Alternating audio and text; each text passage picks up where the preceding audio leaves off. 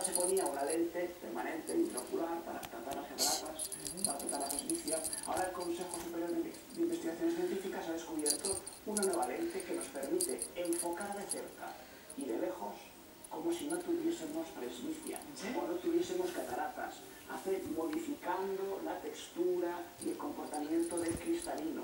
Se inserta dentro del ojo, requiere una pequeña operación, pero es permanente y seguiría para siempre. De momento ha funcionado en ordenador, en simuladores, pero dentro de poco operaciones como la que estamos viendo ahora, de insertar una lente en el ojo para curar las cataratas, serán mucho más sencillas, gracias a este invento español, y posiblemente dure para toda la vida.